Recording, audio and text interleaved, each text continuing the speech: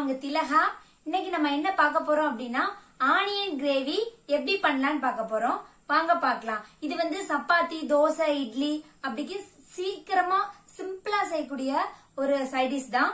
வாங்க எப்படி பண்ணலாம்னு வீடியோக்குள்ள போய் பார்க்கலாம். வெங்காய தொக்கு பண்ணுறதுக்கு ஃபஸ்ட்டு நான் வந்து ஒரு வடச்சட்டியில் மூணு ஸ்பூன் வந்து எண்ணெய் ஊற்றிருக்கேன் அதில் ஒரு சின்ன துண்டு பட்டை மூணு. கிராம்பு. ஒரு அன்னாச்சி பூ. சே ரெண்டு ஏலக்காய். இதோட நான் ரெண்டு கப் பெரிய வெங்காயத்தை சின்னதா நறுக்கி வச்சிருக்கேன். அதை நான் சேர்த்திருக்கேன். வெங்காயம் தான் இதுல வந்து அதிகமா இருக்கணும்.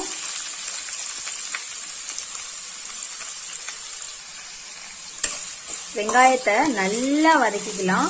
இது எப்படின்னா ஒரு கோல்டன் ப்ரௌன் கலர் வரும் பாத்தீங்களா? நல்லா ஒரு இந்த பிரியாணிக்கெல்லாம் வந்து லாஸ்டா வெங்காயத்தை வந்து நல்லா ஃப்ரை பண்ணி போடுவோம்ல அந்த மாதிரி வரணும். இது பாருங்க நல்லா ஒரு கோல்டன் ப்ரௌனா மாறிடுச்சு. பாருங்க எப்படி சூப்பரா வந்திருக்குதுன்னு. இந்த ஸ்டேஜ் வரவும் அடுப்பை ஆஃப் பண்ணிடலாம்.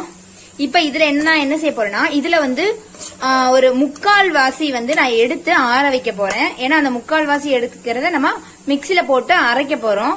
சோ இதுல வந்து முக்கால் வாசி வெங்காயத்தை நான் வந்து எடுத்து ஆற வச்சிட போறேன். இப்ப நம்ம வதக்கி ஆற வச்ச வெங்காயத்தை இதுல சேர்த்துக்கிறேன். இதோட வந்து நான் ரெண்டு தக்காளிய சேர்த்து நல்லா பேஸ்ட் மாதிரி அரைச்சுக்க போறேன். இப்ப நம்ம வந்து இதுல முக்கால் பாதம் எடுத்து அரைச்சாச்சு. இப்ப கால்வாசி வந்து வெங்காயம் இதுல இருக்கு. இதோட நம்ம வெங்காயத்தையும் தக்காளியும் பேஸ்ட் பண்ணி எடுத்து வச்சிருக்கோம். அதை நான் சேர்த்து நல்லா வதக்க போறேன்.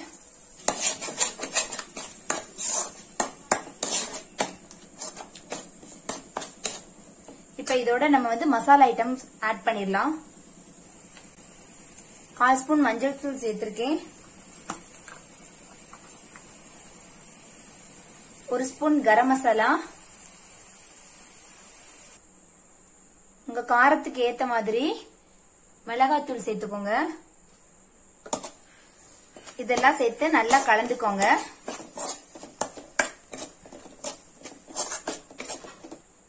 ஒரு ஸ்பூன் இஞ்சி பூண்டு பேஸ்ட் அதெல்லாம் சேர்த்து நல்லா கலந்து வதக்கிக்கோங்க. தக்காளி வந்து நம்ம வந்து வதக்காம அரைச்சோம்ல பச்சையா அரைச்சோம் இல்லையா? சோ அந்த தக்காளியோட பச்சை வாசம் போற வரைக்கும் நல்லா வந்து இத வதக்கிக்கோங்க. இப்போ நம்ம இதுல வந்து கொஞ்சமா தண்ணி சேர்த்துக்கலாம்.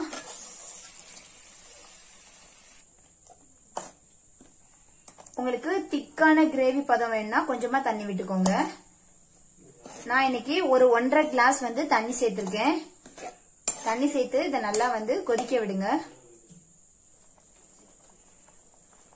இந்த கிரேவிக்கு தேவையான அளவு வந்து உப்பு சேர்த்துக்கிறேன்.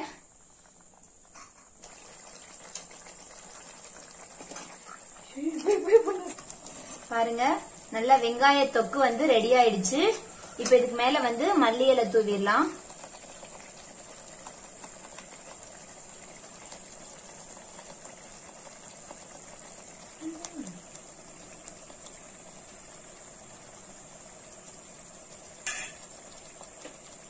இப்போ அடுப்பை ஆஃப் பண்ணிடலாம்.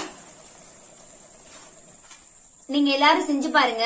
உங்களுக்கு இந்த வீடியோ பிடிச்சிருந்ததுன்னா ப்ளீஸ் லைக் பண்ணுங்க ஷேர் பண்ணுங்க கமெண்ட் பண்ணுங்க. மறக்காம சேனலுக்கு சப்ஸ்கிரைப் பண்ணுங்க. தேங்க்ஸ் ஃபார் வாட்சிங்